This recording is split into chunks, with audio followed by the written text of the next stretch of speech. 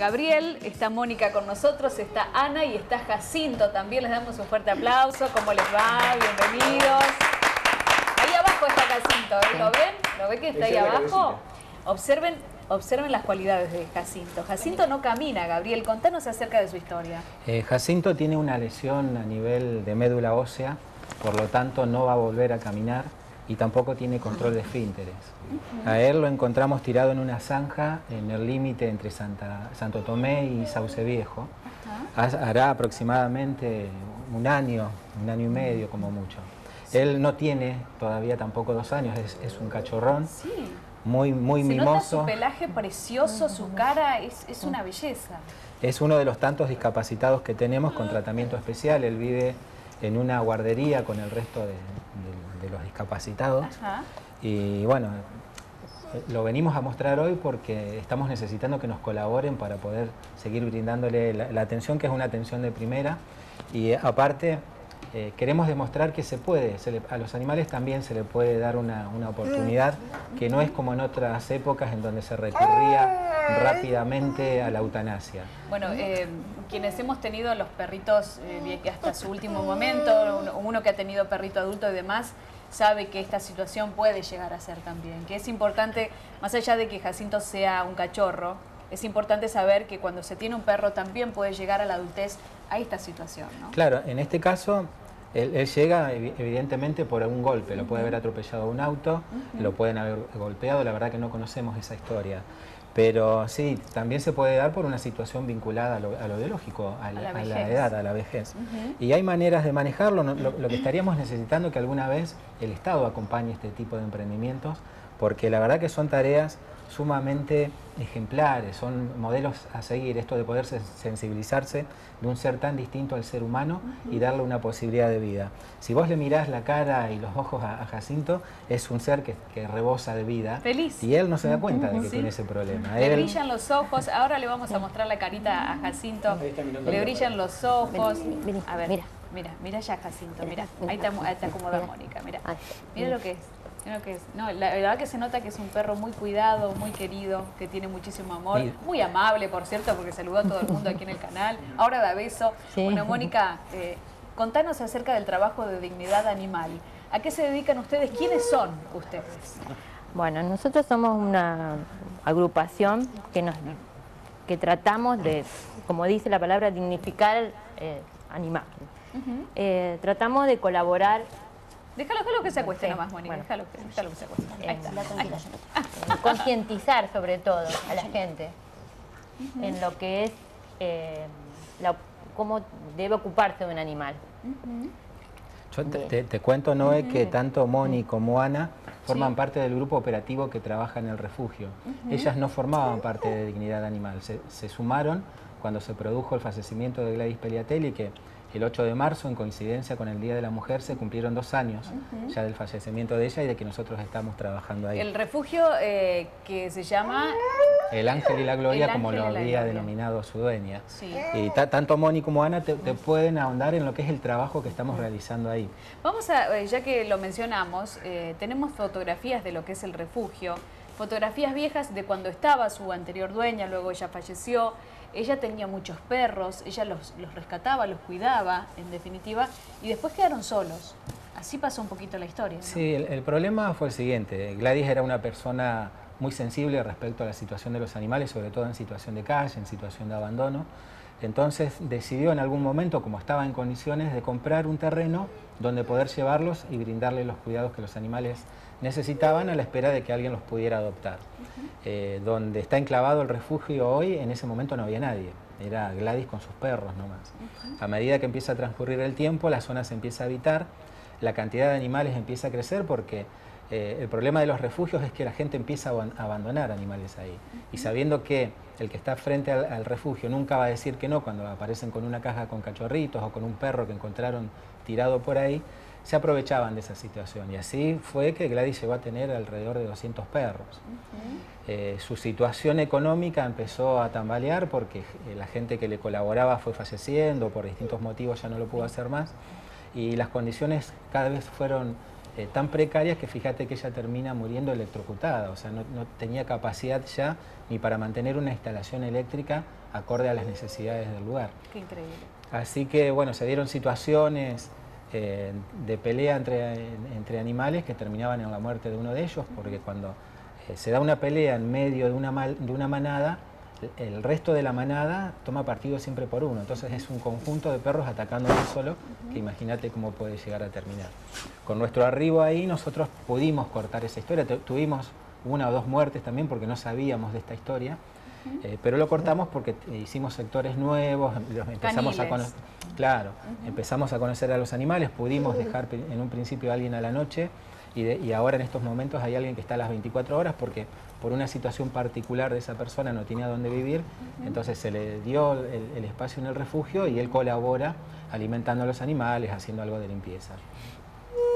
Eh, ¿Cuántos animales hoy en día tenemos en el, refugio y con qué fondos se pueden salir adelante para todas las necesidades que se van presentando cada día? Bueno, cuando llegamos había 109. En estos momentos hay 61, por esto de que hemos podido trabajar lo que es la adopción responsable de los animales. Fíjate que es una tarea, te diría que hasta titánica, porque conseguir a alguien que te adopte un perro adulto es, bastante complicado. Y encima un animal que está en un refugio, que por ahí no está acostumbrado al trato con la gente. Una, de, esa tarea se, se encarga Ana fundamentalmente, ella es la que va los fines de semana y, hace contacto con ellos, les, habla, los toca, se, queda esperando que ellos se acerquen. Hay animales que nunca tuvieron contacto con la gente, que vienen y hasta te pegan con el hocico y cuando vos querés bajar la mano para tocarlos salen disparando como si los estuvieras amenazando con un palo. Los recursos provienen de, emprendimientos eh, que tienen que ver como los que les mostraba hace un ratito, este, este, lanzamiento de venta de bolsas ecológicas, venta de, pastas, venta de prepizzas, sorteos. Padrinos. Padrinos también. Eh, por ahí hay, hace poco dimos una charla que tenía que ver con los principios del yoga. Hay un maestro de yoga que colabora bastante frecuentemente con nosotros y la charla, lo que se recauda se, se, destina al trabajo que se da ahí en el, que se hace en el refugio del Ángel y la Gloria. O sea que, bueno, y ahí tenemos una unidad de asistencia veterinaria. ¿Cómo se logró, por ejemplo, adquirir ese tráiler, esa casa rodante que está funcionando? Bueno, ese era un, anhelo que nosotros teníamos y que pensábamos que nos iba a demandar mucho más tiempo, pero por suerte contamos con el, con el apoyo de un político que nos fue aportando un subsidio en forma mensual, más lo que nosotros veníamos juntando con... con Lo podés nombrar, ¿eh? Tranquilamente. Bueno, sí, creo que vale la pena nombrar a los políticos que, se involucran en esto. Bueno, es, Darío Boscarol, el político que nos colaboró con ese subsidio eh, cuando él era diputado. Con eso, más lo que nosotros íbamos juntando con distintos eventos, pudimos mandarla a fabricar porque no es que la compramos, la mandamos a fabricar con ciertas características, tiene una camilla, dentro de, tiene un baño, tiene una cocinita, Dentro de, la misma unidad tenés unos caniles como para tener los, anestesiar los gatos y tenerlos ahí en espera, o cuando terminás de castrarlos ponerlos ahí. Y ahí abajo tenemos unos caniles para perros de medianos a chicos que también pueden estar ahí tranquilamente. o sea, el veterinario que trabaja ahí adentro lo hace con todas las comodidades. Sí, eh, me gustaría saber, Ana, esto de, ir permanentemente al, hogar, también tiene que ver con la complicidad de, de la familia que colaboran, de, hablar con ellos y compartir el tiempo, ¿no? Porque a veces hay, demanda en casa, pero bueno, hay que estar en otros lugares también. por suerte el tiempo lo tengo. Yo el tiempo lo tengo, a pesar de que tengo muchos animales en mi casa, eh, perros y gatos rescatados, eh, yo tengo tiempo, en este momento estoy jubilada de mi trabajo, y tengo tiempo y ese tiempo lo quiero disponer para hacer lo que siempre soñé que es ayudar a los animales. siempre lo hice. yo siempre lo hice, pero con el tiempo que, disponía. Ahora, funcionas como ángel de la guarda de ellos. No, no, para tanto. Pero, pero, sentí que hay un reconocimiento de ellos cuando vos llegás al, hogar. Absolutamente. ¿Te mueven la cola? absolutamente. ¿Y Mónica? Eh, sí. Yo también. Yo tengo menos tiempo, pero bueno, trato de balancearlo con con mi familia que a veces me requiere también y plantea, en general las familias cuestionan muchas veces, pero bueno, también es una cosa que siempre quise hacer, es colaborar y la verdad que lo disfruto. ¿Viven en Sauce Viejo ustedes? Yo vivo en Sauce. No, yo vivo acá. Ana, en Santa yo Fe. Vivo acá en Santa Fe. ¿Y te vas para allá? ¿Vas y, venís? Sí, voy los fines de semana o algún feriado o cuando la necesidad lo requiera, voy. ¿Y también te dedicas a captar socios y a, vender las cosas? eso sí, lo mismo, todos hacemos lo mismo. ¿eh? Ajá. Eso sí, todos hacemos lo mismo. Eh, Ana aparte es la encargada de las adopciones. Cuando aparece algún interesado en adoptar alguno de, los perritos que tenemos ahí, se le pasa el número de Ana y con ella entablan la charla. Y si Ana considera que es una persona que merece tener el animal que quiere adoptar, eh, se termina dando en adopción. Claro. Eh, decíamos, eh, Gabriel, esto de la posibilidad de las personas que quieran colaborar con ustedes, que hay varios canales para hacerlo. Uno, el más importante, pusimos un número telefónico. Tomamos el tuyo, Gabriel. Ya te voy a empezar a llamar cualquier cosa.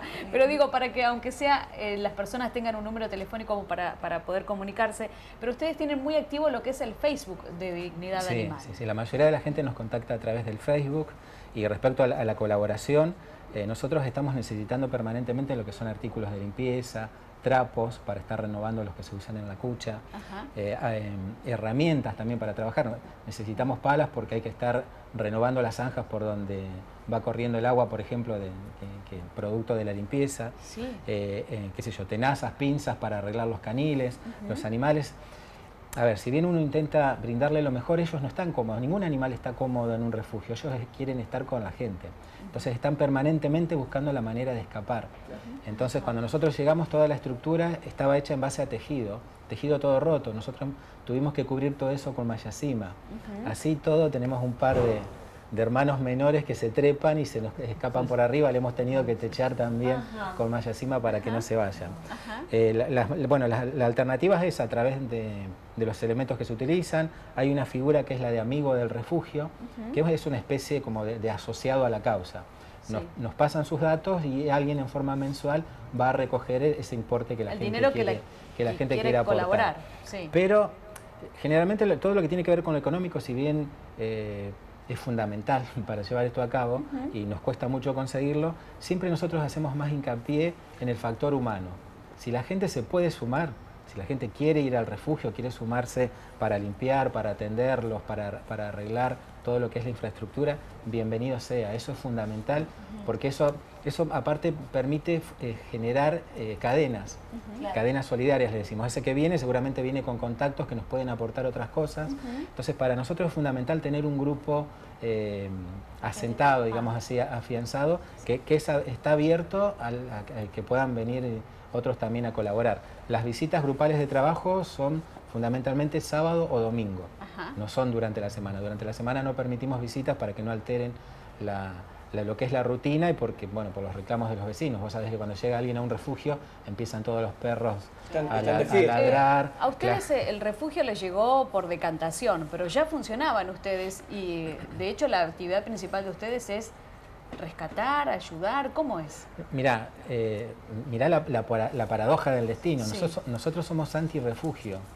Por estatuto no podemos tener refugio, porque nosotros consideramos que, consideramos que es una respuesta obsoleta, que tiene que ver con otro tiempo. los refugios empiezan a funcionar para descartar lo que era la perrera. No sé si ustedes se acuerdan lo que era eso, bueno, que venía una camioneta, enlazaba perros que andaban en la calle, los llevaban a un lugar determinado y los asfixiaban con el mismo gas de la camioneta. Entonces, cuando la gente empieza a hacer reclamos respecto a lo que era la perrera, ¿qué, hacen, eh, ¿qué hace el Estado? Dice, bueno, le, cedemos un terreno y manéjenlo ustedes. Y, ahí empieza a generarse el tema de los refugios. Pero hoy en día no tiene mucho sentido porque no hay en ningún lugar del mundo, salvo que haya grandes capitales que estén detrás, no hay manera de sostener un refugio. Llega un momento en que uno se ve sobrepasado.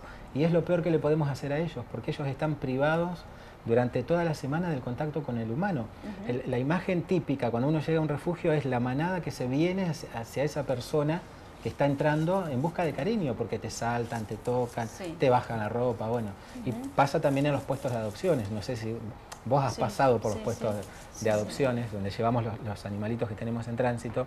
Algo típico dentro del corralito es que cuando alguien se acerca al corralito, los animales levantan la vista y empiezan a mover la cola como diciendo, me, viniste a buscar. sobre todo en, el caso de, los perros, es como una necesidad de este contacto con, con el humano. Los gatos también tienen sus necesidades, también son abandonados, también los tenemos en adopción, pero tiene una, una personalidad distinta al gato. Yo siempre digo, es más parecido al ser humano, porque él va a venir en busca de cariño cuando él quiere, no cuando, cuando vos querés hacérselo. Me imagino más difícil de contenerlo al gato, porque se va.